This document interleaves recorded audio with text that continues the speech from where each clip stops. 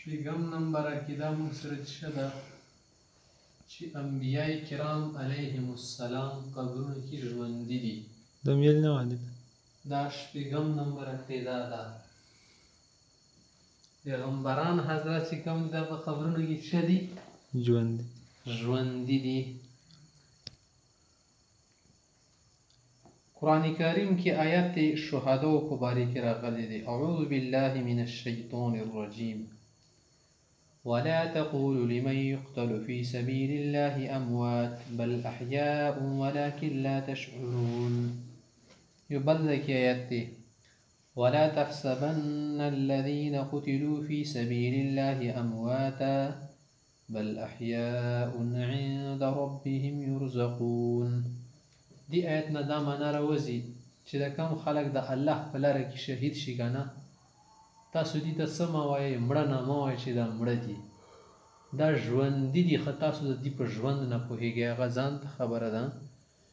یو شی وی چی ته په نه پوهیږی دی خو دا معنی نده چی شی هم نشته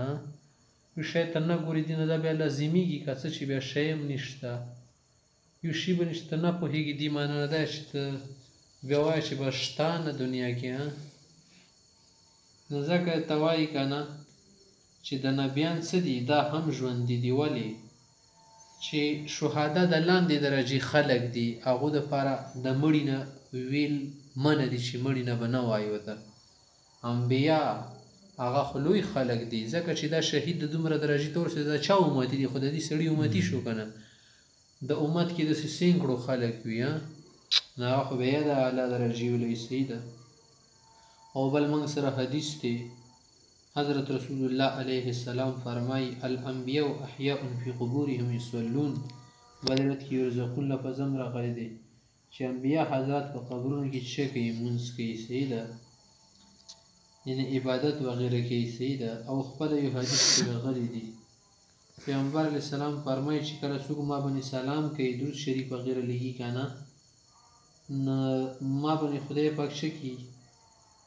زه متوجه شم بیا خلکو ته د سلام ولا جواب هم ورکوم لکه حدیث دی کنه ما من احد یسلم علی الا رد الله علی روحی حتی ارد علیه السلام ابو داود شریف حدیث دی چې کله یو مسلمان ماته سلام وکړي نو خدای پاک ماته روح را واپس کړي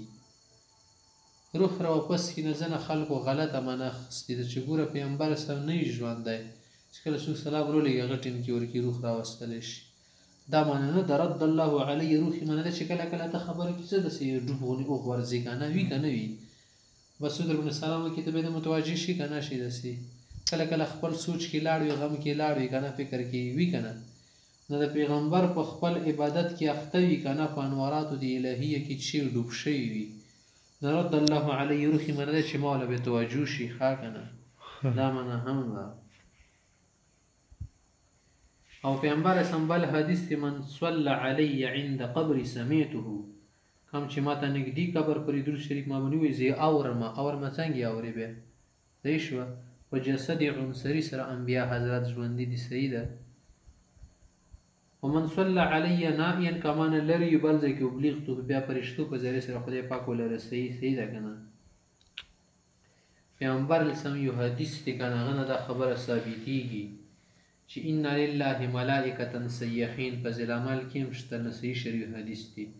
چې زنه پرشتي د خدای د سړي چې زما کې چکر لګي فی الارض سیاحین فی الارض یبلغونی من امتی السلام زما امت کې ماته څوک سلام څه کې هغه مال رسي صحیح ده نو انبیا حضرات سړي په خپل قبرونو مبارکاو کې مختلف مشاغل او عبادتو کې مصروف وي خدا عبادت چې دوی کوي کنه دا شرعاً دي دی واجب نه دي چې دوی باندې ضروری دي ځکه کوي بلکې لذت او سرور د پر کې خوند ولا محسوسيږي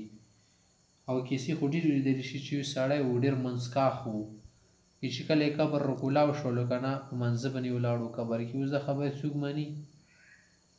ولې ولاړو ده دې دپاره دې بني ثواب ليکلې شي